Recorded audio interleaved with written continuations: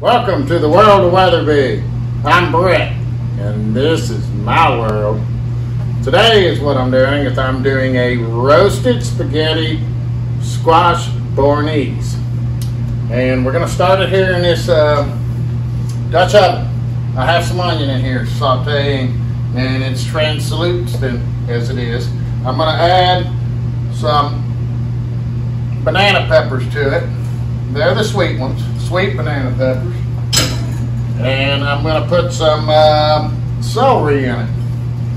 And it's what made me decide to do this is because we've had some fresh stuff out of the garden. We got the spaghetti squash. We have some homegrown tomatoes that we uh, boiled in some water uh, for 30 seconds before we could peel them and then we diced them all up. And we have a little bit of a yellow tomato and a red tomato. But we're gonna start it here.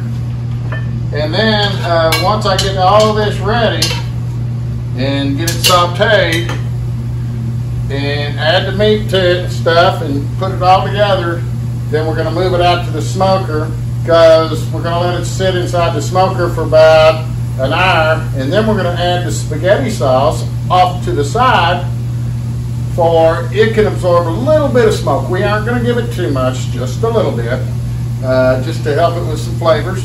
We're going to use our and spicy on in the, in our concoction, the bolognese, and I probably put a little bit of um, island rub on top of the spaghetti squash. Um, you know, as you know, I don't use much salt, so. Uh, that'll give it a little bit more flavor. I'm a garlic guy, and we have some fresh garlic out of our garden this year that is just spectacular, juicy, and we're just, you know, we got all kinds of flavors going. Uh, but that's about it. So we're going to saute this uh, and let it become, and then we're going to add some, or we're going to add some carrots to it, and we're going to let them soften up a little bit, and then we're going to add our ground meat to it, two pounds of ground meat. And I'll go over the ingredients or post it with this video where you all can see it. And you can follow it. You can do this all in your stove, on hot the stove, and in your oven. But it's hot, we're running an air conditioner. So let's put it out on the smoker uh, and do uh, keep the heat out that way, and that way I can do some other things out there and kind of keep an eye on it also. And I'm not running back and forth. So that's what we're doing. Okay. Now we're gonna go ahead and brown up some ground beef in another skillet because I want to be able to drain any of the grease off it. We don't like a bunch of damn grease.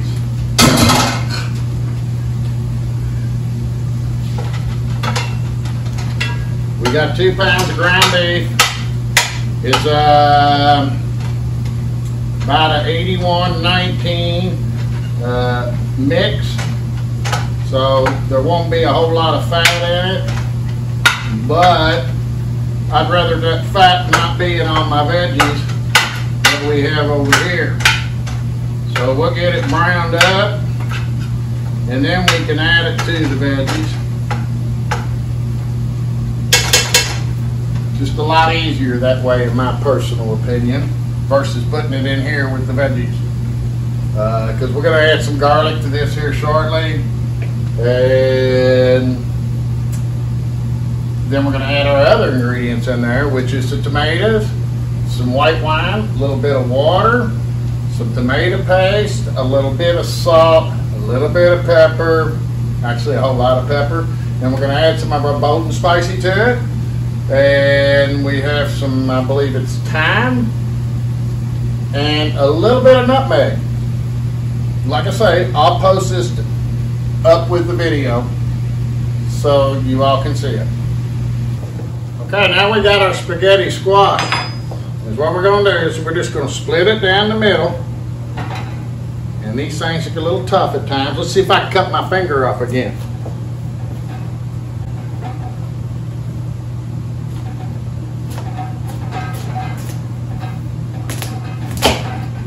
I've been doing that a lot lately.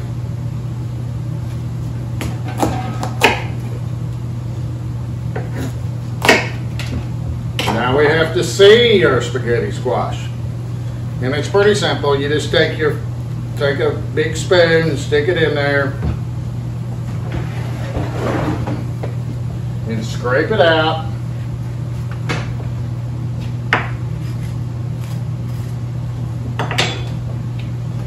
All right, so now that's done. We're gonna add a little olive oil to them. Whole lot of olive oil to them.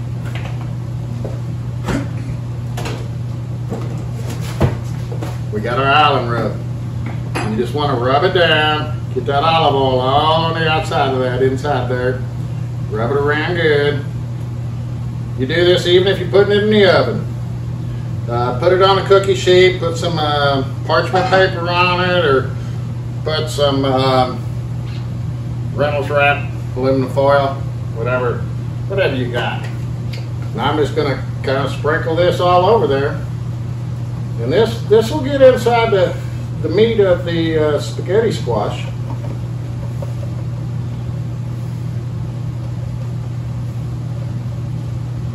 And it'll take about an hour at 300 degrees outside on the smoker. But that's all I'm doing to it. And it is, it's all ready.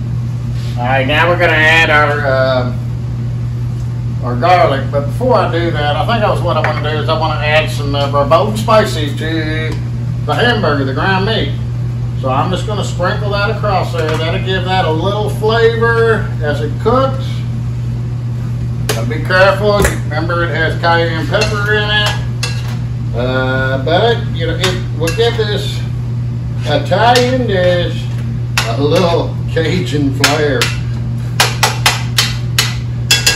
This is how things roll around here. So you can see the fresh garlic. I got this whole little thing called tubbed up in it.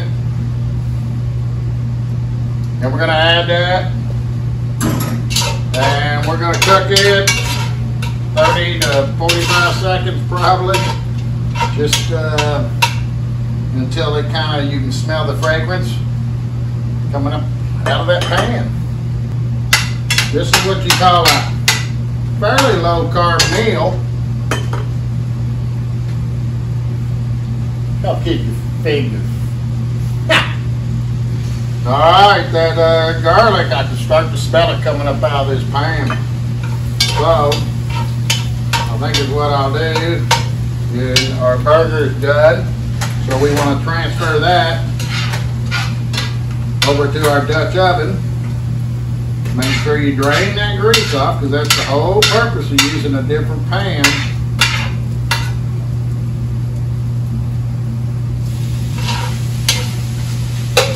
Okay, now what we're going to do is we're going to we're going to add our tomato paste, and it's kind of a reddish color. And is what you want to do is you want to cook that until it kind of browns up a little bit.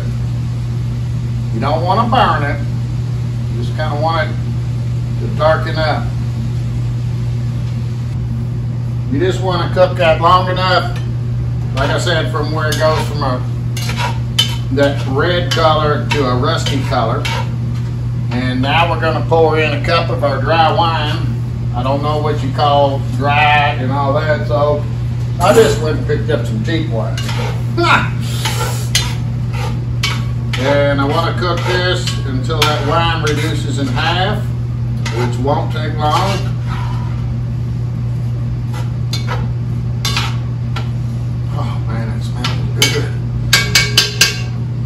And then we're going to add nutmeg, some uh, thyme, fresh thyme, some pepper.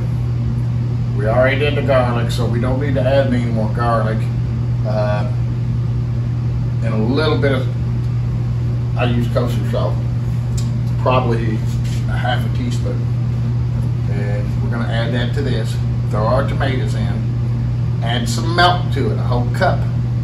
And it's whole milk it's not half milk, it's not 1% or anything like that. It's whole milk. Remember, when you were a kid, that was what we drank.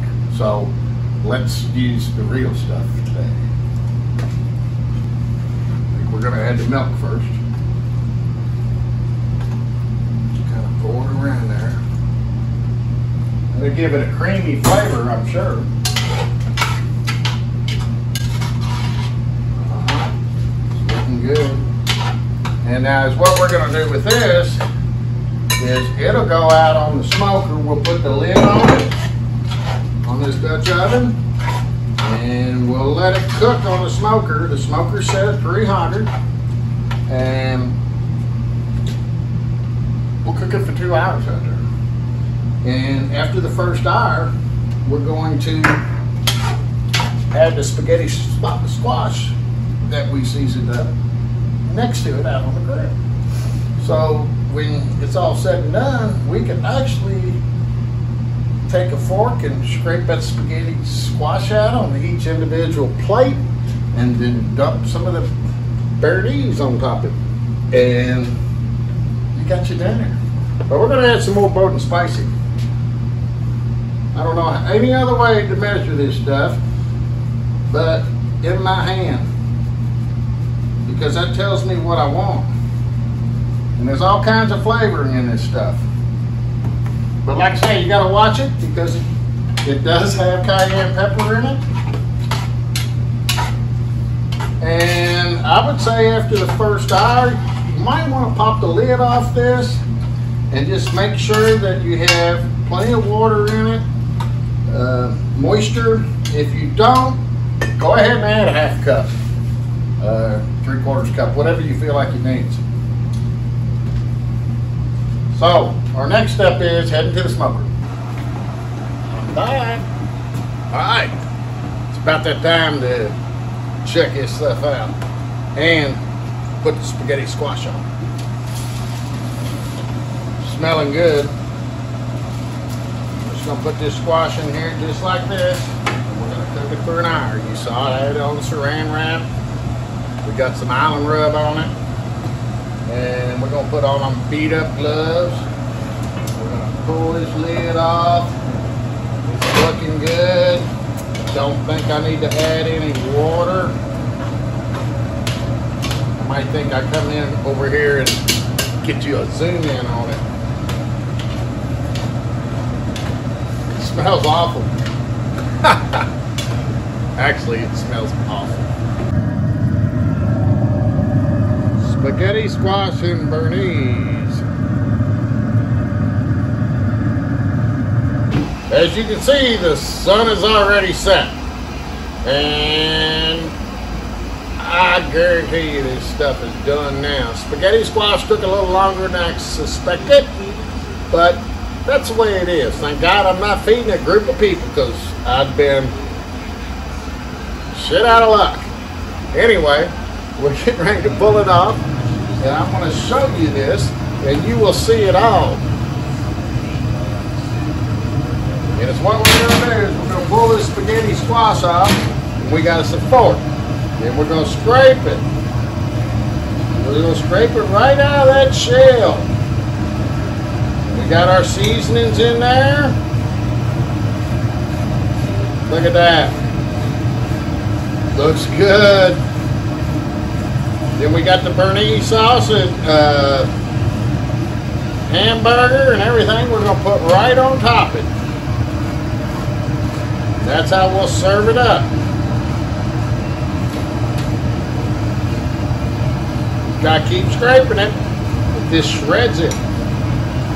Some people actually eat spaghetti and meatballs with this. That's why it's called spaghetti squash.